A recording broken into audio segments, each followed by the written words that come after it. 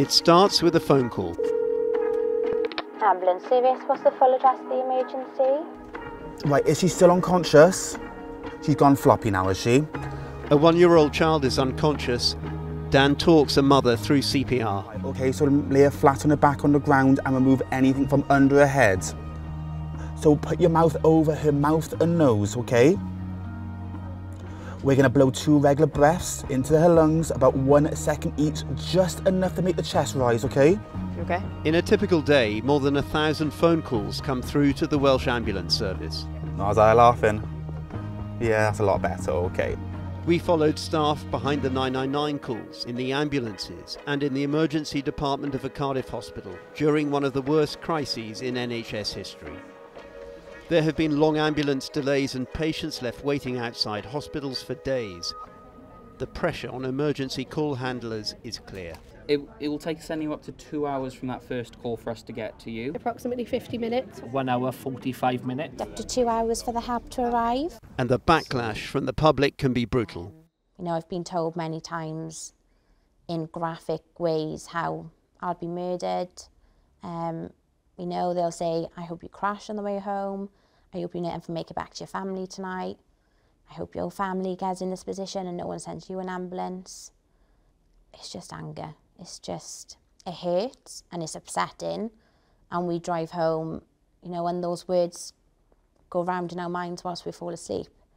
But we've just got to remember they're just, they're just scared. I don't know why I'm getting so like, just about the abuse. It's so like, But I mean, it does affect you. yeah. Okay, so tell me exactly what's happened. Is, is, The ambulance delays have impacted the lives of many people. Like Nicola, who in July 2022 called 999 for her son Daniel. ambulance service, what's the address of the emergency? Um, yeah, it's my son. She got to his house 30 minutes after she made the call, but there was no sign of help. He was gasping for breath. Um, he was he was freezing. He was sweating. Um, he had a job to keep his eyes open. With an ambulance still three hours away, she decided to drive Daniel to the nearest hospital. I was trying to breathe breathe into his mouth and pump his chest, and I, I, I didn't even I didn't even know how to do it myself. But I was screaming, "Daniel, don't die!" And and he'd gone. So mad I am. Where's my boy in a box, stuck in a box? Stuck in a box in my living room. And he should be here. When somebody needs an ambulance, they meant to be there. They meant to come out. The Welsh Ambulance Service is reviewing this case. An inquest will be held in May 2023. Nicola is one of many left to wonder what could have happened if an ambulance had arrived sooner. And the what ifs weigh heavy on those sent to help as well. It's horrible, it's not nice. And the first thing we are constantly saying to our patients is, I'm sorry for the delay. Suzanne and John Wallace are a married couple who work together on the ambulance. The Welsh Ambulance Service says the biggest problem driving slow response times is the waits they face at hospitals. I think my record, I think we went to a call that had been outstanding for something like 15 hours. We got to them, they needed to go to hospital, and then we queued on the back of the ambulance for umpteen hours as well. In December, across Wales, the ambulance service lost more than 30,000 hours queuing outside hospitals. On some days it was so bad nearly half of all ambulances were stuck in queues. One paramedic spent four consecutive shifts queuing, unable to respond to a single 999 call. You're not going to believe this.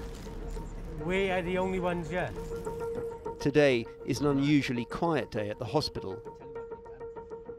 I haven't seen it like this since the pandemic. How's your chest pain? Is it still?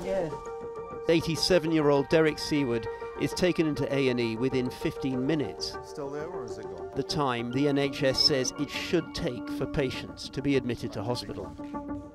Last year, hospital staff were told improvements had to be made and that no ambulance should queue for more than four hours. Could be. Long delays persist, but in Cardiff, notable improvements have been seen. Staff have set up initiatives to help reduce the strain, called virtual wards to monitor patients at home. Board. So this is uh, medical short stay. This was a 30 And this ward was specially modified to help patients move more rapidly through accident and emergency.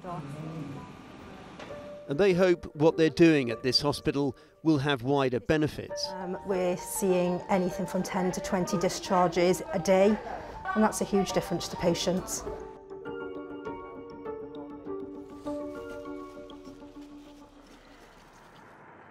After the improvements seen in Cardiff, the Welsh Government has urged other health boards to study this approach. You know, waiting an hour for GP. But ambulance response times across the country are still mired in delays.